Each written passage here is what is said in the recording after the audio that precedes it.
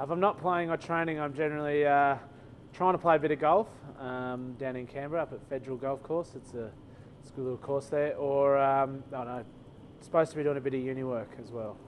Best game I've ever played, uh, there's probably two. I'd probably have to say the, the World Cup quarter final against South Africa. Um, we were just under the pump the whole game, um, and to get the win was just uh, a great feeling.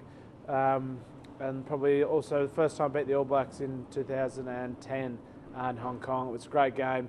Um, we'd lost, I think, 10 in a row or something. Very, we'd lost a lot of games in a row to them, and uh, to finally beat them in, in uh, dramatic circumstances right at the death was, was a great win.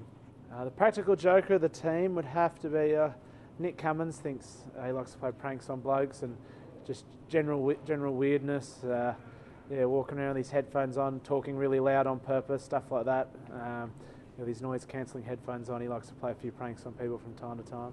I was looking forward to you know, going up against Gethin Jenkins and Cian Healy, um, so it's, it's, a shame that they've gone home. Um, as far as you know, players I respect, you know, guys like Paul O'Connell would be great to play against him again. Um, Adam Jones is also a very, very great player in my opinion.